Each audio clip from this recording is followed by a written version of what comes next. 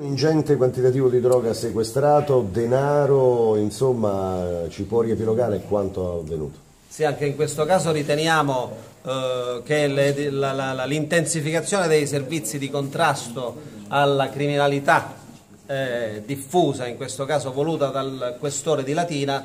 abbia dato i, i propri frutti a vantaggio della città. Abbiamo disarticolato una banda che seguivamo da tempo e che si occupava, come avete visto anche dal materiale sequestrato, di diverse tipologie eh, di reati che evidentemente eh, avevano inciso molto sulla percezione della sicurezza in questa città.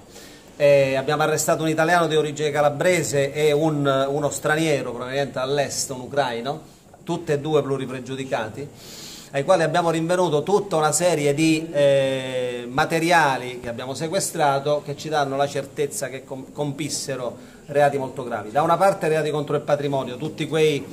eh, raid che di notte in particolare venivano compiuti ai danni di esercizi commerciali, tabaccherie e sale slot hanno fruttato, come avete visto, eh, monete, eh, banconote e soprattutto abbiamo rinvenuto l'oggetto eh, con cui, lo strumento con cui eh, spaccavano saracinesche e porte, uno strumento che come avete visto è, è molto sofisticato, un, un, divaricatore pneumatico che serviva a spaccare qualsiasi porta d'ingresso o saracinesca. Nel contempo eh, abbiamo rinvenuto tutta una serie di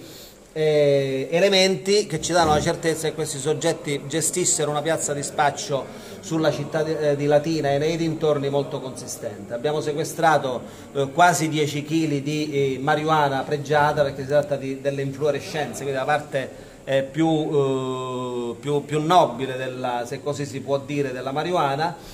cocaina, eroina e moltissimi bilancini eh, che eh, abbiamo rinvenuto nei diversi appartamenti, anche questo va sottolineato, ben 5 appartamenti, appezzamenti di terreno, baracconi e stalle che abbiamo perquisito grazie anche alla collaborazione della Polizia Scientifica e dei cinofili eh, di Nettuno, dove abbiamo rinvenuto anche più di 20.000 euro in eh, banconote.